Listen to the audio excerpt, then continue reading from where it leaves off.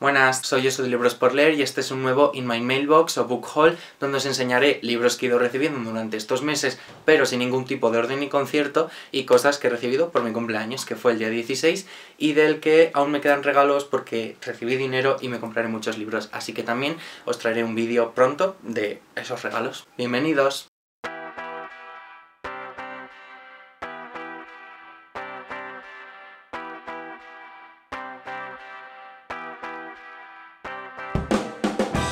Total, que creo que os voy a empezar enseñando los discos de música como hacía antaño cuando subía In My Mailbox y estas cosas, así que os voy a enseñar los discos que he recibido. El primer disco que os voy a enseñar es Salud de Little Mix, es el nuevo disco que sacaron, mucho mejor que el primero a mi parecer, y me lo regaló mi hermana, un regalo que me sorprendió bastante y que me gustó mucho, así que gracias. El siguiente regalo es un regalo conjunto, me lo hicieron mis padres, porque me regalaron la entrada del concierto de Lady Gaga el 8 de noviembre y aparte pues me regalaron este fantástico disco de Britney Spears de Single Collections. Tiene el DVD también con los mm, Most Iconic Videos y la verdad es que, bueno, fantástico.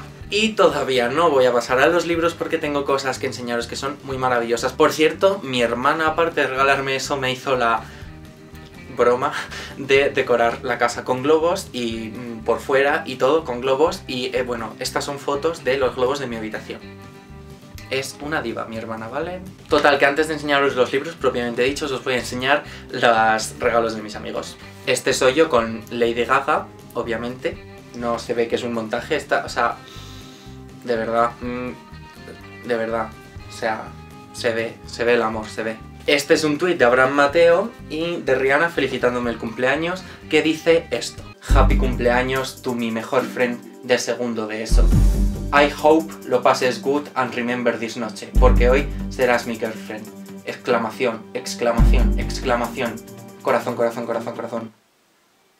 Y Rihanna me dice, Happy birthday to my favorite lady, XO, XO, Jesu Diamond. Y bueno, luego Antonio, el hermano de un amigo mío, me regaló la carta de felicitación y dentro una carta escrita por él, muy bonita, que me hizo mucha ilusión. Muchas gracias, tanto a Antonio como al resto. Y mi amiga Silvia también me regaló esto, un collage mío junto a ella desde hace muchos años que no voy a tapar, ¿vale? Porque... Mm, es mi época triste y cutre de hace muchos años. Ah, bueno, y se me olvidaba lo mejor de todo. No sé si conoceréis a esta magnífica mujer que la utilizo continuamente en Twitter, pues bueno, como dije que mm, es una diva para mí, pues mis amigos me regalaron esta fabulosa careta. Y aparte de eso, mi novio me regaló la fotito para ponerla en mi mesilla donde quiera de ella, que viene siendo esto. Y también me regaló un cuadro que está por aquí, no sé si lo podéis ver, os pondré foto con fotos nuestras, que fue un detalle súper bonito. Muchas gracias, amor.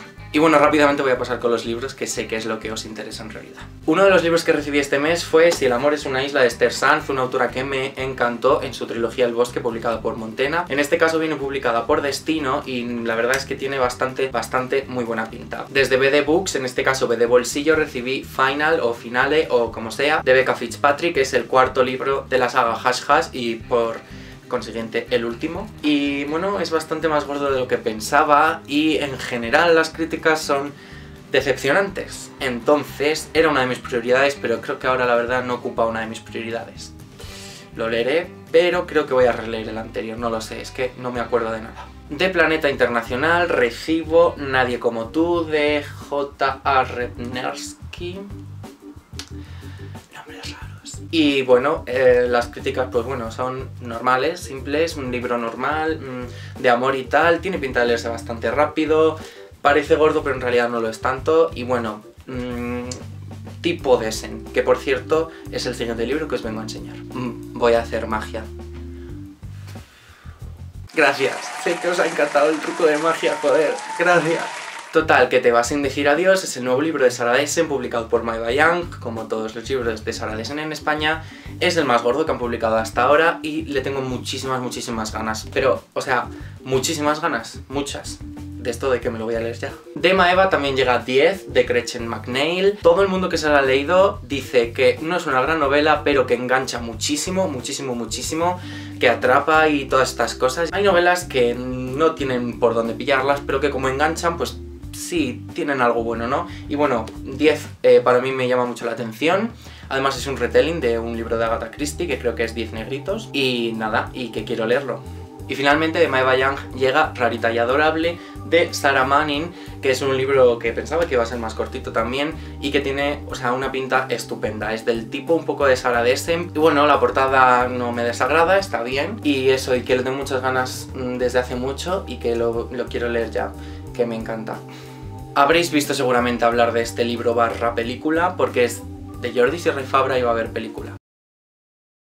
Hablo de Por un puñado de besos, como he dicho, Jordi Sierra y Fabra, que se publicó hace ahora dos años, creo, como un poco de abril, algo de mayo, todo septiembre. Es finísima, pero súper fina, y como todas las novelas de Jordi Sierra y Fabra, el 90% son eh, diálogos y con capítulos cortos, así que este libro será de los que de hecho no sé por qué no lo he empezado todavía. Después recibí El pasajero de Jean-Christophe Granger, me voy a hacer aquí el franchute un momento. Es un libro bastante gordo, ¿vale? Según Amazon eran exacto 700 em, muchas páginas, pero es que según la ficha oficial eran unas 400 y dije, guau, pues son 400, es un thriller tal. Pero bueno, dije, madre mía, qué mm, tocho. Me llama mucho la atención, como ya visteis en mi entrada, habla de mitología, mezcla asesinatos en serie, entonces, bueno, mm, me encantan las dos cosas, así que supongo que le echaré el diente. Pronto. Después recibí por partida doble dos clásicos contemporáneos, 1984 y Rebelión en la Granja. Ambos libros están publicados por De Bolsillo en su línea contemporánea, como veis, y son de George Orwell. En 1984 le tengo algo, o sea, le tengo más ganas que Rebelión en la Granja, pero Rebelión en la Granja tiene la letra más grande, es bastante finito, entonces creo que me lo leeré de una sentada.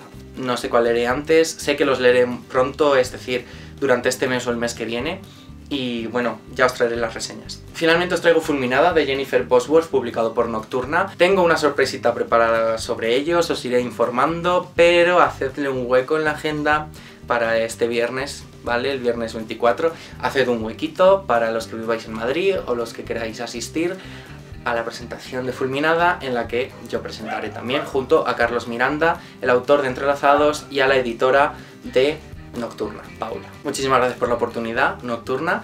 Y nada, ya os contaré en la reseña y todo esto sobre Fulminada y espero veros ahí, por cierto. Y esto es todo. Siento estar tan acelerado de repente, pero es que se me está acabando el tiempo de la cámara, la memoria y todo eso. Así que nada, muchas gracias por verme. No olvidéis de daros a like, suscribiros y estar atentos a todas las novedades de Libros por Leer. Nos vemos pronto. Adiós.